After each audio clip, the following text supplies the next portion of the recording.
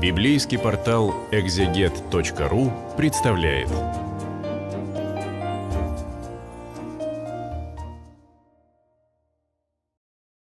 Девятая глава первой Маковейской книги. Для библейского портала «Экзегет» читаю перевод э, под редакцией Брагинской. Ну вот в восьмой главе у нас э, иудеи заключают союз с римлянами, и римляне грозят селевкидам, что в случае дальнейших притеснений иудеев будете иметь дело с нами что со стороны римлян довольно серьезное предупреждение. Да вообще-то не похоже, чтобы до селевкидов это дошло. Э, да и как-то тема римлян, она сразу исчезает на этом. А дальше э, по-прежнему селевкидское войско и иудейские повстанцы борются друг с другом. Услышав о том, что Никанор со своим войском пал в бою, это предыдущий полководец, посланный э, царем Диметрием, который в данный момент сидит на престоле, там уже несколько их сменилось за время этой книги, поскольку они друг друга свергают. Э, вот эм, он понимает, что не вышло и желает все-таки добиться своего. Дмитрий еще раз послал в земли Иуды Бакхида и Алкима. Бакхид его военачальник, Алким один из этих коллаборационистов, а с ними правое крыло войска, то есть э, значительную часть всей селевкидской армии где-то треть, наверное. Да, они отправились по дороге в Галгал, разбили стану Салот в Арбелах, захватили это место и перевели много народа. Ну, мы не смотрим на географию, это надо было бы на карте показывать, да и не очень важно, в какой конкретно точке. А важно, что начинаются какие-то локальные такие победы, удары, но им нужно взять Иерусалим. Иерусалим пока до сих пор остается иудейским. А в первый месяц 152 года от Александра Македонского они разбили стан возле Иерусалима. Затем ушли оттуда и направились в Берею. Было их 20 тысяч пеших и 2 тысячи конницы. Все-таки не очень много, там у нас общая численность 100 тысяч, но уже часть войска у нас потерялась. И потом отправили только правый фланг, то есть примерно треть. Еще есть левый и центр.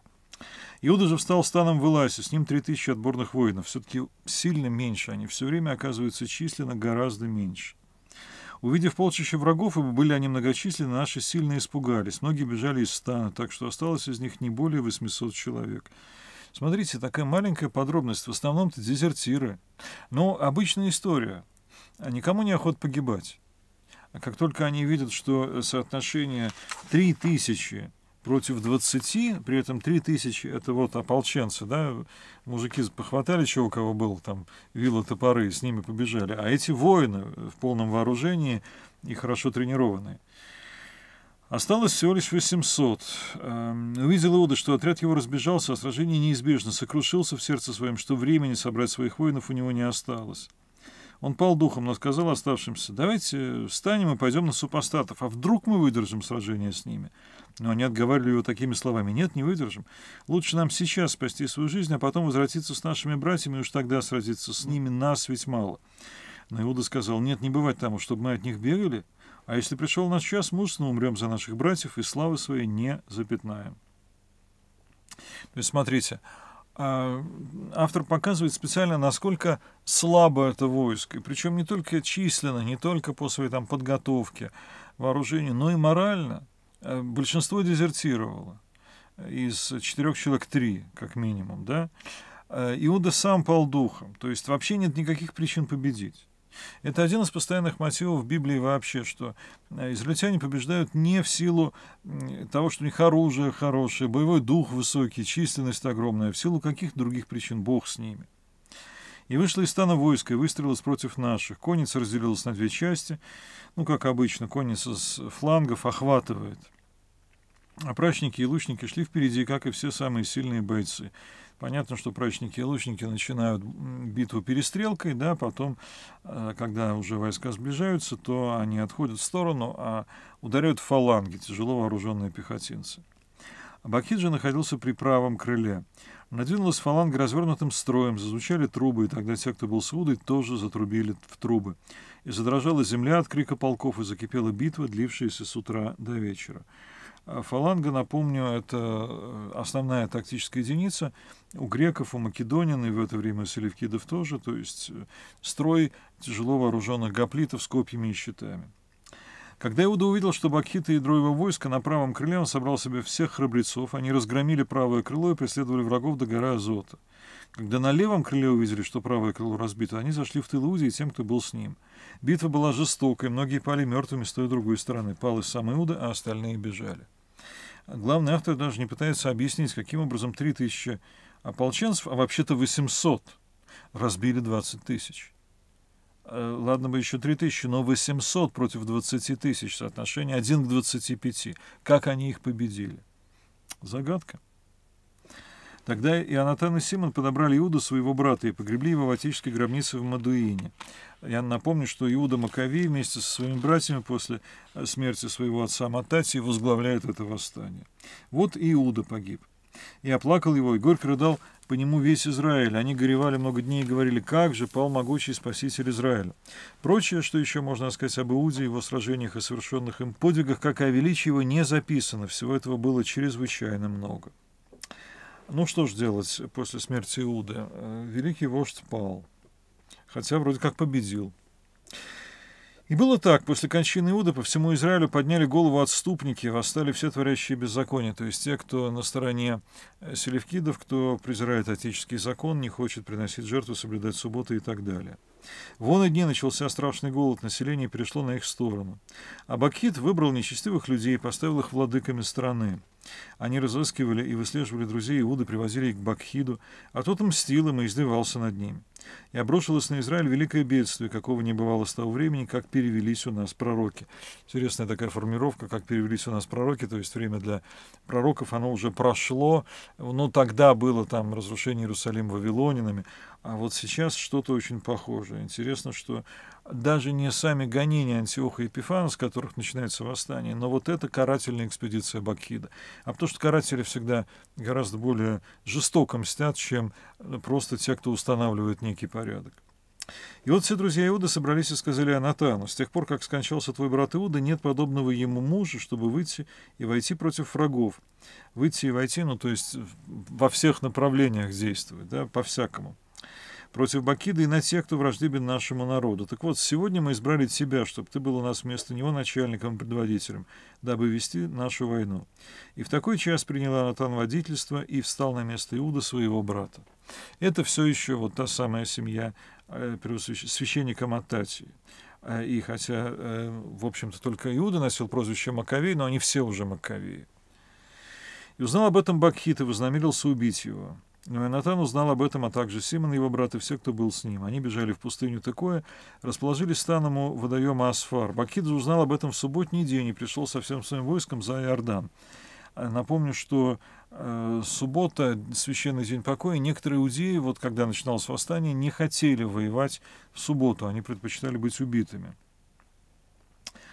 А, тогда Ионатан отправил своего брата во главе толпы и попросил у Набатеев, своих друзей, оставить у них на хранение много нашего добра. Набатеи — это э, относительно небольшой народ, такой арабского, скорее, происхождения. Ну вот они живут, жили в современной Иордании. Э, знаменитый город Петра — это их столица. Петра — вот это прекрасное, совершенно вырезанное в скалах э, собрание очень разных зданий. Но сыны Иамбри вышли из Медабы, захватили Анана совсем, что у него было, и ушли захваченным. Ну, э, понятно, он пытается найти какие-то, каких-то союзников. А кто такие эти сыны Иамбри? Эм, это что, Набатии? Похоже, что вроде как да, но с другой стороны, почему он их по-другому называет? Может, какое-то одно племя небольшое Набатиев? А после всего этого Ионатану и Симону его брату сообщили о том, что сыны Амбри справляют пышную свадьбу и ведут из Надабата невесту, дочь одного из знатных ханаанских вельмож с большой свитой. Вспомнили они о крови Иоанна, своего брата, вышли и спрятались под прикрытием горы. Вот подняли они глаза и увидели шумное шествие, всякого много добра, а жених его друзья и братья с тымпанами, музыкантами и толпами народу вышли им навстречу. Тогда они бросились на них из засады и стали убивать их, а многие пали мертвыми, а остальные убежали в горы. Все их добро было захвачено.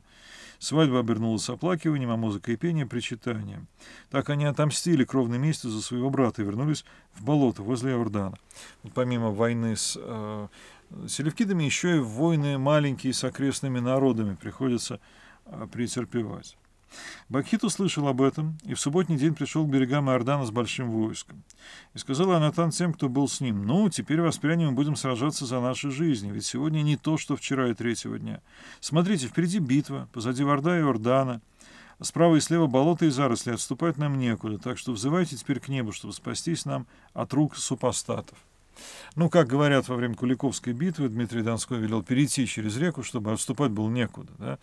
Э, так и здесь. Можно только вперед. Назад не получится, вправо-влево не получится, только на врага.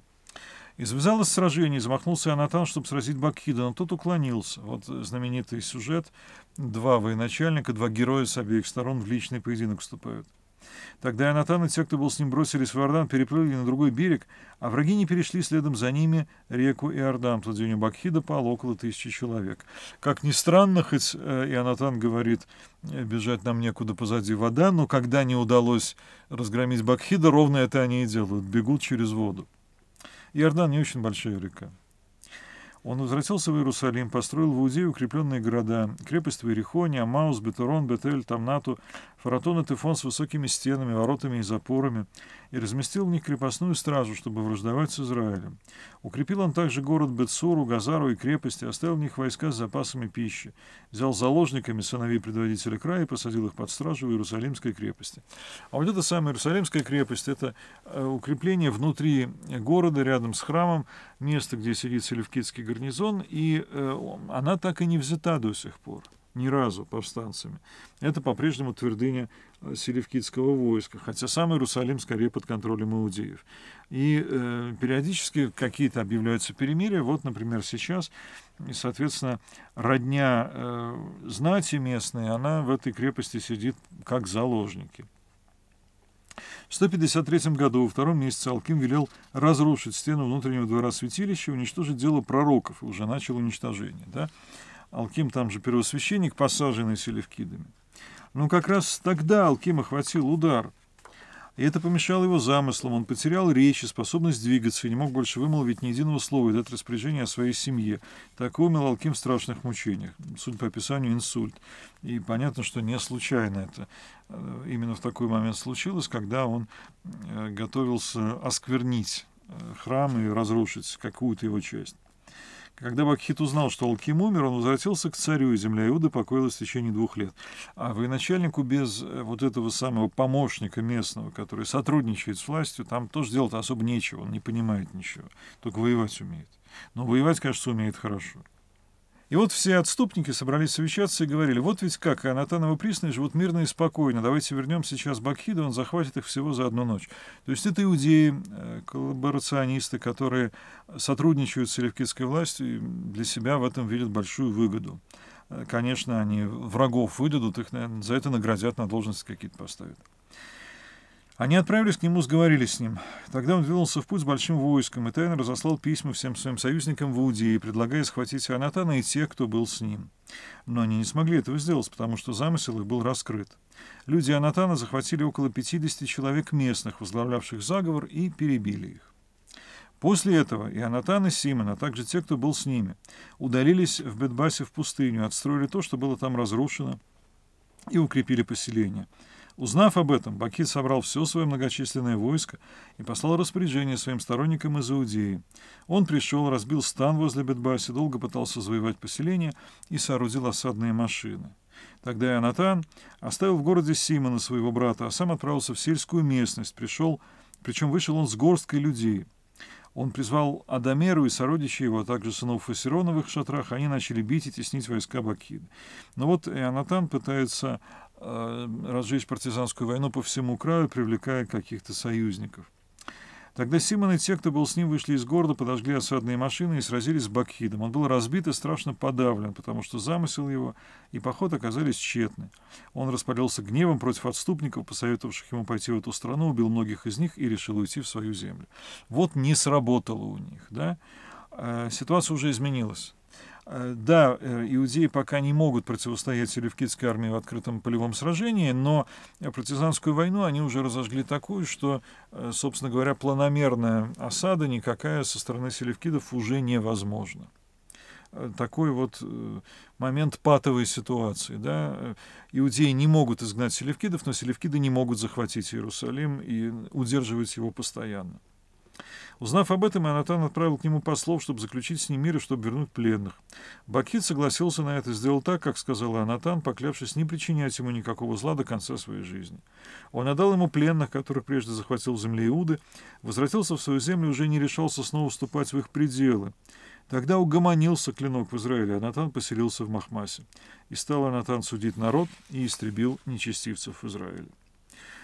Э, основная война закончилась, но очаги селевкидского влияния, прежде всего крепость в Иерусалиме, по-прежнему остаются. Что будет с ними? Следующая, десятая глава.